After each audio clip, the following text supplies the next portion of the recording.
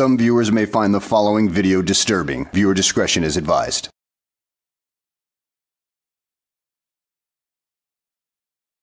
Well, hello and welcome back to the channel, everybody. In today's video, we find ourselves somewhere in Georgia where a Moorish sovereign citizen has just been pulled over for speeding.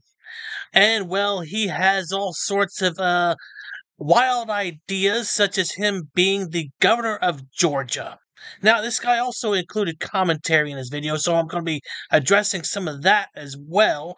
So let's go ahead and sit back, relax, and enjoy the show.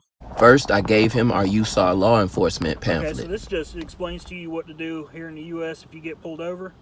Yes, and and and you make sure that um, law enforcement understands that there's nationals traveling. Those are our issue driver's licenses, just to make sure that because you know it's a learning curve. It's it's not you know common, so I make sure that I carry things to make sure law enforcement understands what's, uh, that I'm a national. I'm actually the governor of the province of Georgia, actually. For success, it's important to stay calm and build rapport. But yeah, I'm a, and I'm a I'm a holistic doctor, uh, which is why I deliver the medical supplies. Board certified doctor. Okay.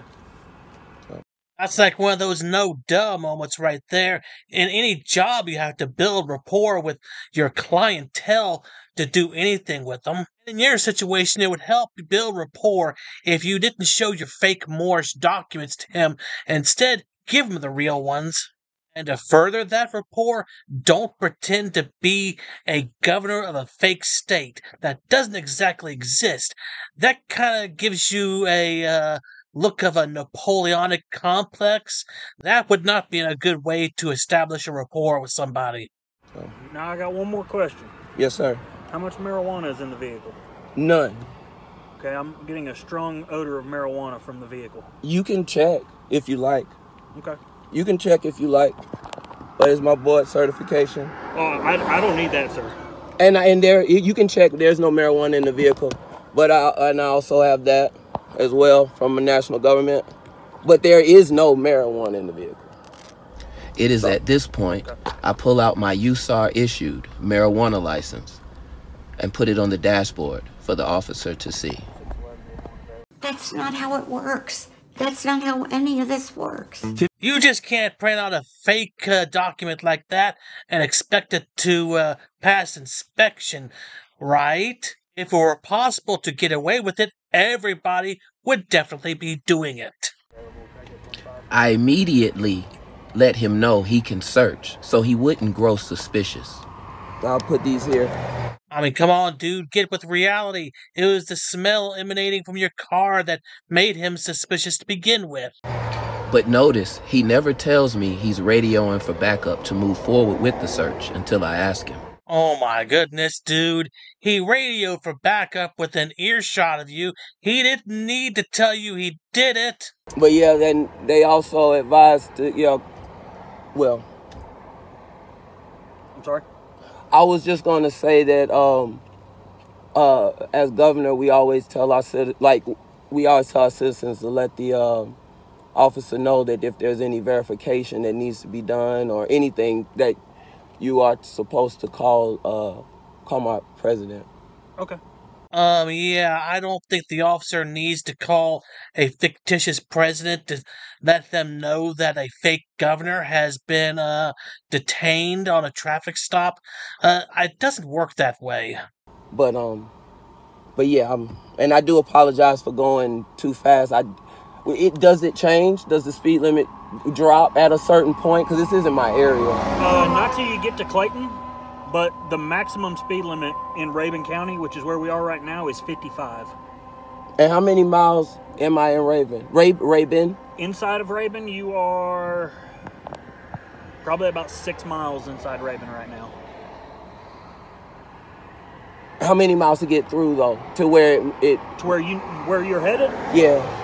Uh, Well, I mean, I think last Maybe time, five I, and I might have, I look, I was looking at GPS to check. I think it last said I had 15 more minutes to get to this nursing home. So okay. Yeah, you're not very far. Dude, if you are not familiar with an area, then take your time, slow down, and observe the posted speed limits and go from there. And my seatbelt's on. Yes, I'm thankful for that. Thank you, sir. Hang on just a second. I'm trying to get my radio to work. Yeah, and that was one thing I was trying to do. My GPS conked out on me a quick second with no signal while I was driving. Wait a second, you missed something there, dude. You forgot to play your semantic word games. I mean, you just said you were driving. You should have said you were traveling. I mean, come on now. You're not doing this very well. Get with the program. You failed that opportunity right there. Remember, our government is an ally with his government, so there's no need to be militant or hostile with the officer. Uh, I hate to tell you this, but the United States doesn't recognize your uh, fake country and uh, certainly doesn't have any treaties with it.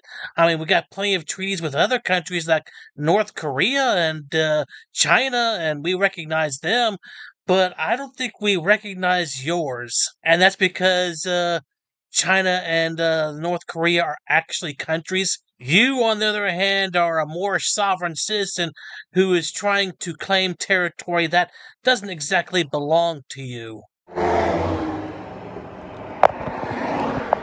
After engaging with the officer, he has a clear understanding that I am not a U.S. citizen and he must engage with me differently. Seems like any other banal traffic stop to me, besides the fact that there's a wild card in the picture, mainly in the form of a uh, diluted Moorish Sovtard. As a national, I let the officer know I am fully compliant with his processes. Okay, sorry about that. You just well, you gotta check my registration and stuff. No, since you gave said I could check the card because I do smell that odor, I'm asking for another unit to come up here, just so Oh for well, officer safety. okay. I, I- okay. Well, I, I really I don't actually want to con. Well, y- y- you can go ahead and do what you gotta do because I'm I'm trying to get to going. Um, I'm thinking real fast at this I don't- point. do I have to consent to a search? I mean, you I didn't. I didn't. I, that's not exactly what I was trying to do. Um, consenting to opening my car and doing all this. Um, but there, there is no marijuana, so or anything uh, illegal in the vehicle. No, you know. So, yeah. Dude, your speech patterns are all over the place right now. It sounds like you're not entirely confident in what you just said. Like they will find something that you uh, are hiding at this point. Maybe the smell that the officer uh, indicated earlier is uh, accurate. I mean, you don't have to consent, but I mean, with the odor I'm smelling, I'm just gonna get a canine out here. I was waiting on him to say that. I mean, it's up to you What's up to me? You, you, if, you, if you want to give consent or not. Consent to search the vehicle. if I consent, does a canine have to come? We have to wait on all those things. No, sir. If you consent, we don't have to wait on a canine. I knew the answer to that. I just wanted to hear him Like- like I say said, it. let's it is let's let like I don't need to be waiting on a canine. Um, so and like and if there's any problems, I highly advise that you discuss uh also discuss with my uh, national government, who's issued all rights. But there's nothing in here, so I don't even know why it would be necessary. But just letting you know. Okay, let me see if I can get this straight. You want your fake government to talk to the his real government so they can come to an agreement about you getting special privileges on the road? Um, okay, I don't think that's going to work out very well for you, buddy. Well, let me just explain how where I'm at right now. Okay. Marijuana is illegal in the state of Georgia. Okay.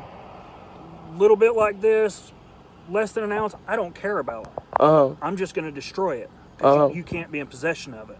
I understand. But it, any amount whatsoever is illegal in the state of Georgia. Okay. All right. And yeah. Okay. That's and- why I'm going through all this with you. And, and the only reason that I'm mentioning this is because it's like as far as national government um, and not being not being a 14th Amendment citizen, Negro, Black, colored, I'm Moorish American national. Uh, wait a minute. Uh, if you're not a U.S. citizen, as you claim, then uh, why are you worried about the 14th Amendment, which would not apply to you to begin with, if you uh, are truly not a U.S. citizen? So the my gov the, uh, my national government, which supersedes the federal, has issued me rights. Uh, yeah, you're not making a lot of sense here, dude. Your government would not supersede the laws of the federal government. Uh, yeah, uh, that's just insane right there. to for it. So I'm just making sure that that part is clear. This isn't a generic thing. This is an actual national. But uh, you know, a lot of people don't know that we actually have um, an indigenous Native American national government for uh, Africans born in America. So Dude, your cult is less than a hundred years old, and that's what it is. It's a cult, and it is not recognized by the U.S. government as a sovereign nation. Now, it is true that there are Indian reservations scattered throughout the United States that are their own uh, entities, but they are still under the U.S. government. But there are no Moorish uh, reservations recognized by the U.S. government. So, uh, you got any more BS? so, but I'm just being thorough with explaining things. And I, what do you need I- me I to do so understand that you can check? I'm not saying you're What in do you? Well, no. I understand. So, what do you? What would you need me to do at this point? Because I really need to get to these patients, I, I'm honestly just waiting on another unit. so I'm that gonna you look real your quick, safety. get you on the road. I got you. Okay. I understand for Because I- your safety. I can't have you standing out here while I'm looking in your vehicle. Makes sense. That's not that safe wouldn't for even me make. or s- you. Yeah, you definitely would train better than that. yeah, I wouldn't do that either. I understand. Now, the whole part about uh, if it's just a little bit, I don't care about it, I'll just destroy it, but you can't have it in the state of Georgia. I respect that. You can't have it. I, we, we respect their laws. But either way, I'm a non citizen. You have no jurisdiction over me. So all you can do is destroy it. But my Utah Constitution says that I can Me, I do possess this route. marijuana. Dude, if you truly believed in anything that you just said and that he didn't have any jurisdiction over you, then why did you stop? Perhaps it deep down inside of you, you realize that everything that you just said is a bunch of BS. So I do this route. I do it Monday, Wednesday, Friday, and then another guy does Tuesday, Thursday, Saturday. All right. Well, just please keep in mind you got to be slowing down. You can't be speeding like that. Okay. I, I It's understand. definitely unsafe. Dude, you just contradicted yourself. Earlier you said that you don't know the area, and now you say that you drive around here a little bit more frequently than you just said earlier. So I hope that the officer will catch on to that and uh, really shove those tickets uh, down your pocket so you have to pay them. Not only is it unsafe for you, but for others as well. Okay. And I understand. And I did. I'm not seeing the speed limit. I thought I was in pocket, thinking it was maybe 60, 65. Where I'm like, I try to stay under 10 miles of it. Uh, I'm gonna have you step back here. You can bring your phone and continue to record if you'd like, Yes, sir. but I'm gonna have you step back here to the front of my car. Okay. I'm gonna put reach down, put my shoes on. Perfectly fine. In my opinion, consenting to the search is always the best option. Dude, the Fourth Amendment protects you from unreasonable searches and seizures. If the officer had not smelled the uh, substance, then you would have been uh, well within your right to say, I decline the search, because you still have your Fourth Amendment right to be uh, protected from unreasonable searches and seizures. So don't take any legal advice from this guy anyway. But anyway, this officer does have probable cause to do the search, so let's continue on. And as you can see, I continue to engage with the officer, continue to be friendly, find common ground so that you seem normal, you know, uh, make friends, you know, be allies, act like an ally. Very important, also. Dude, you're not exactly normal on this plane of existence, that's for sure. Sir, your, your glove box is locked. Can I open that up? Yes, because you're probably gonna have to get a dog. The To, key out of the ignition. yeah. Okay. What if I say no? Then you gotta get a dog. That's your decision, but I'm, I'm just gonna call a canine. okay, yeah, we don't have time. Go ahead. you you you gonna pull the key out? Six oh seven dispatch for 1040. Is there any marijuana in there, dude? No, Has there been recently? no. Did you have a firearm in there? It might. Is it? It should. I, I should have taken out. I usually take it out every night. Or Yeah, you had it in the box. oh, Uh oh. If you had that in your glove box the whole time, it should have been one of the first things you mentioned instead of talking about your Sovtard nonsense. I, yeah, I wasn't even thinking about that. Alright, right. One more thing to check. Yeah, just try to remember that way if you get pulled over, just to get To the officer a say, heads up. yeah. hey, I got a firearm in the glove box. Does it being locked help or no? It don't make no so, difference. So the the vehicle is an extension of your home. Uh-huh. So you can possess firearm in your vehicle as long as you can legally possess firearm. You're, you're fine to do that in Okay. vehicle.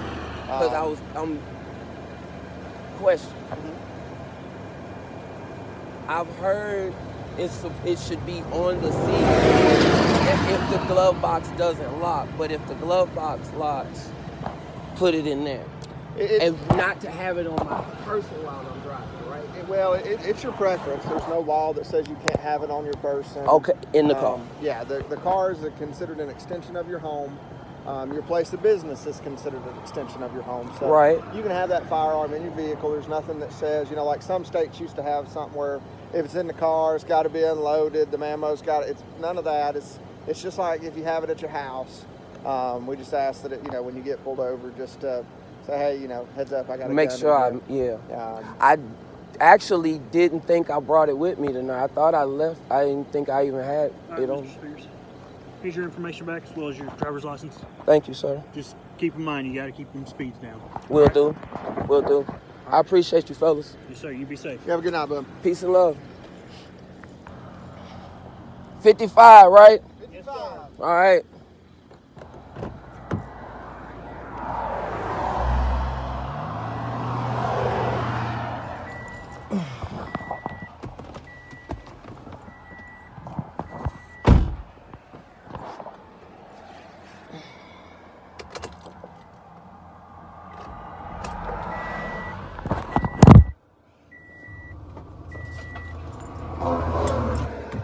Well, that's how you do it, Nationals. Everything checked out. My ID was just fine. He smelled marijuana, check. Handled that, let me go. Uh, no, uh, that's not exactly how it would have gone down if you had only that to back you up. I suspect that you actually have a valid uh, Georgia driver's license and registration because all he did was let you off with a warning. If you uh, didn't have any of your registration papers or driver's license, it would have been a much different story. I can guarantee you that.